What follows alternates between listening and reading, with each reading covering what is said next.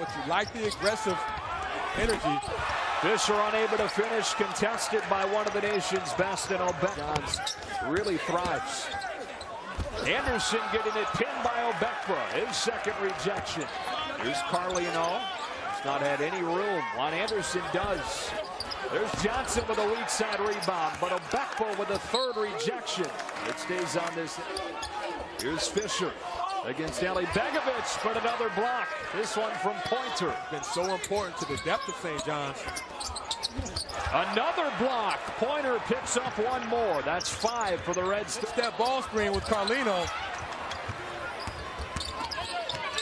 Johnson finding Taylor. Size advantage against Harrison, but left it short. Fischer's there to clean it up before getting rejected. Now it's Carlino. Cat does as far as adjustments in the second half of the offensive end.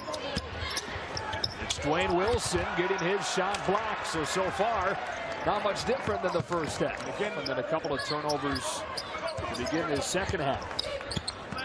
Juan Anderson having a breakout season for Marquette and getting rejected by Pointer. His second tries off the back iron. And it was the mere presence of Obekpa that altered it. Here's Taylor. And both of his three-point attempts in this half have been way off. Obekpa collects another rejection. His fourth. Greene back the other way with a stop.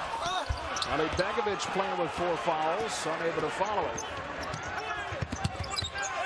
Cohen gets blocked by Harrison and touched it last. Shot clock down to five.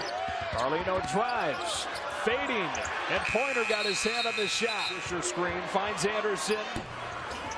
Fischer unable to get it against Obekpa, but it falls to him, and he gets his shot sent out of bounds. Pointer with another block to bring us to the under eight timeout. Going, going by Harrison. No whistle. Taylor spinning and getting